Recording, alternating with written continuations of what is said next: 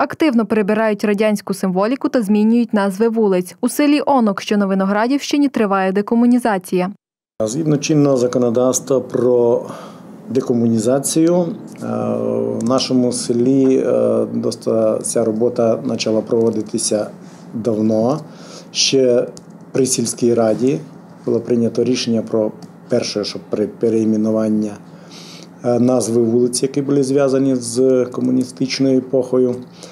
Е, Цей процес продовжується. Також було проведено реконструкцію радянського пам'ятника у центральній частині села. Під час реконструкції було проведено історичні дослідження, уточнення імен загиблих. Ініціативна група, яка зібралася і е, за підтримки депутатів е, районної ради, сільської, е, ну, сільських, е, ну і декотрих небайдужих людей. Над кожним ескізом працював я сам.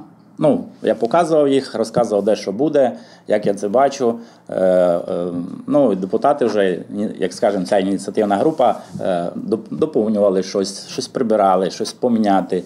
Я це все слухав ну, і вносив відповідні корективи. Коли вже всіх все задовольнило, тоді ми узгодили остаточний варіант, подали його на узгодження в архітектуру, виконком.